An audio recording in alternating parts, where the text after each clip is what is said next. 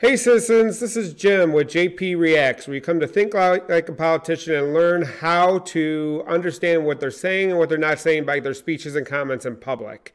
Today we're going to be covering uh, a moment of comments from President Biden on his uh, his executive orders on modernizing the immigration uh, system in this country. Hopefully he's got good information on that. Uh, if you're interested, stay tuned after this.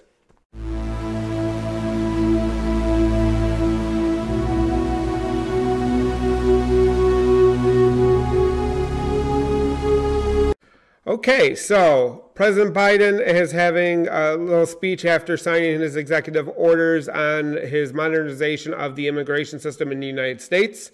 Uh, so let's jump in and hear what he has to say. But the purpose of my asking you here today is I want to congratulate the new uh, secretary, Secretary Mayorkas, who's going to take on an easy job, uh, nothing to it, Homeland Security, and uh, and uh, going to deal, looking forward to his leadership and working with Congress uh, on a lot of issues, including the immigration bill that has, uh, I think, great support in both chambers. Today I'm going to sign a few executive orders um, uh, to strengthen immigration system, building on uh, the executive actions I took on day one to protect dreamers and uh, end the Muslim ban and to better manage our borders. So, uh, first off, I just want to make sure that we recognize President Biden modeling good behavior here by wearing a mask. There's a lot of people in that room, and the fact that he's wearing a mask, even in the Oval Office, shows uh, leadership and the ability to uh, lead a country through this crisis, uh, which is a pandemic which covers everything that's going on right now. So I appreciate that. Uh, he, he recognized the newly confirmed Secretary of Homeland Security and then, if you remember, day one, he had signed some executive orders reversing Trump's travel ban for Muslims, um, also protecting Dreamers. Trump was trying to get deport Dreamers. Dreamers again are the kids that came with their parents and uh, and no fault of their own and have been model citizens, going to school, serving in the military, all that good stuff.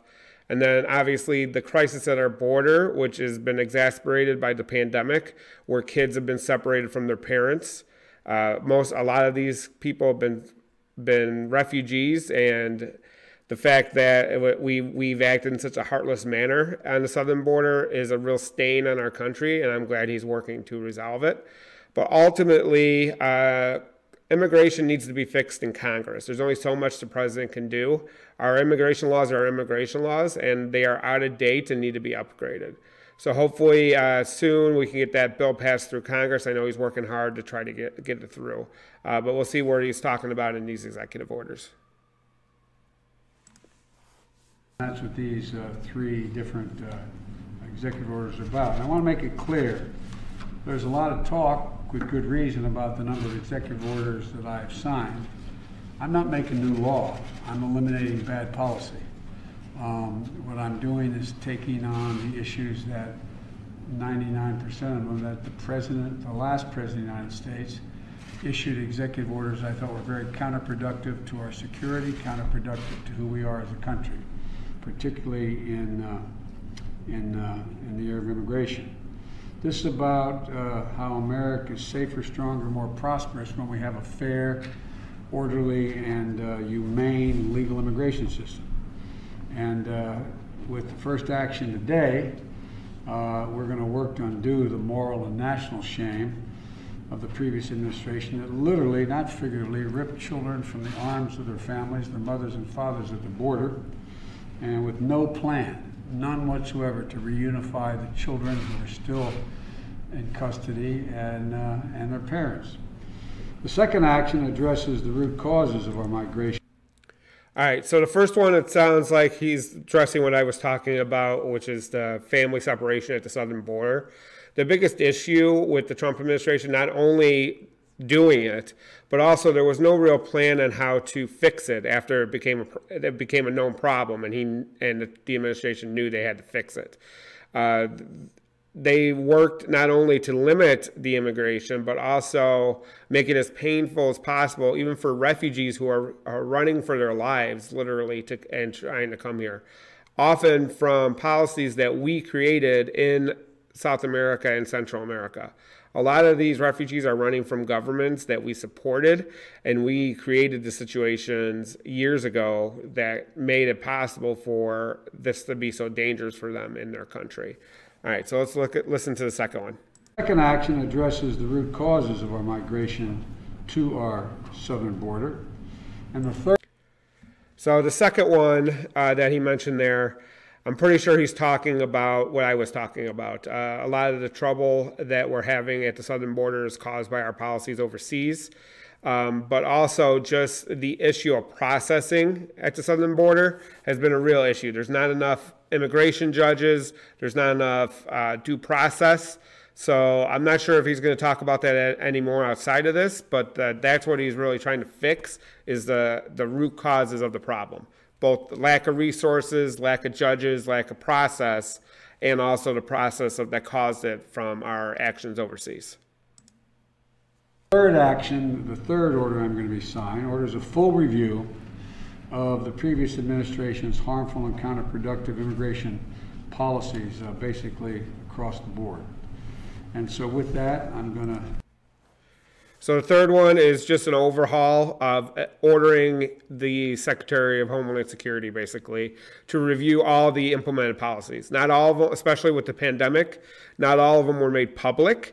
So he really wants to make sure that they know what's going on and that he can make recommendations and fix a lot of the issues that are under his control, which are a lot of process and policy related, not law related. He can't change the law. He can he could fix though how we how his his administration enforces the law to make it more fair and just.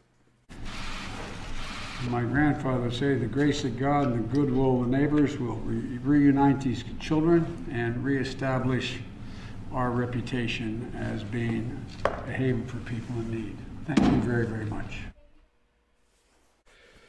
Okay, so basically, in between uh, what I what I was talking about and what I showed, uh, he signed the executive orders and re uh, re re talked about what they were covering. Uh, but basically, the goal here is to make our our immigration system work the way it's supposed to work. Again, he's not rewriting laws. He can't do that. That requires Congress to pass some additional laws. Um, but what he can do is make the process work better, work be fairer, and to really follow the law to the best of its ability that makes the most sense. He can. He also obviously has jurisdiction over foreign affairs.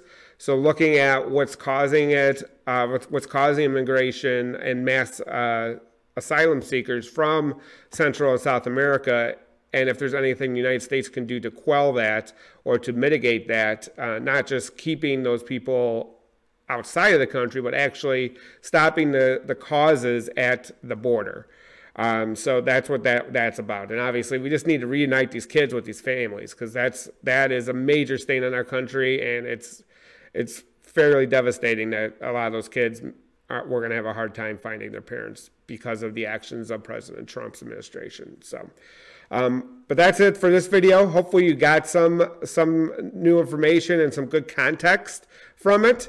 Uh, but basically, if you did, please like the video below. And in the comments, tell me what you think of these three executive orders, which is going to make the biggest impact on the immigration system. And secondly, what you think President Biden should do next about immigration. But uh, until next time, I'll see you around the internet. You have a great day. Bye.